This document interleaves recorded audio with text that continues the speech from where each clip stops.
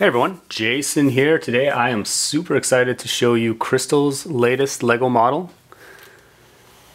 Now at first glance this might simply look like a static sculpture of a human head, but what really makes this model special is what is on the inside. If you take a closer look at the top of the head, you'll notice that it is hinged on either side and there is a split down the middle.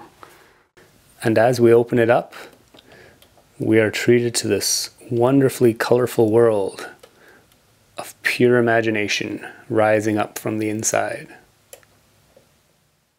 Before I show you the mechanics of how it all works, let's take a quick look at some of the cool details that Kristal's built into the scene.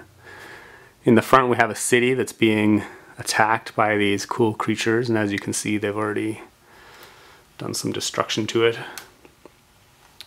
As we move around the side, the city continues. We have a cool little flying saucer here. We come across a bunny rabbit and a dinosaur eating lunch together in a cafe. As we come around the back, we see this world of enormous plants and mushrooms, and here's a little microscale human for scale, and a black rocket ship launching into the sky. Here's a seascape with a sailboat on a water spout. And as we come across back to the front, we see a little propeller plane coming in to attack the creatures to help defend the city.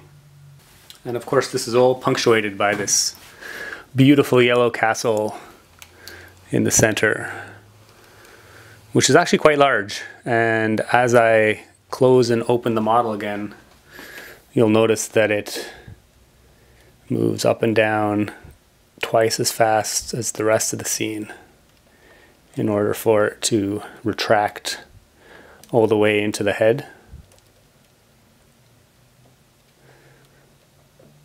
So how does that all work? Here I have a standalone model showing you basically what's going on inside the head. On either side of the interior is mounted a gear rack then we have a carriage that moves up and down along those racks using these gears. It is attached to either side of the top of the head using some of these strings, Lego strings with studs on either side. And that way as you open and close the model, the carriage moves up and down. Basically all the outer details are built onto the top of this carriage. For the inner platform containing the castle, we have this piece here, which also has some racks on either side, and they interface with the inside of all those gears connected to the carriage. And in this way, we have a basic telescoping platform system. As the carriage moves up and down, the inner platform moves up and down twice the distance and in that way the castle can be twice as high as all of the surrounding details. So that's about all there is to it. I really hope you enjoyed Kristal's latest model. I really hope she builds some more cool stuff I can show you guys as well. Thanks so much for watching the video. Keep on building, and we'll see you in a couple of weeks.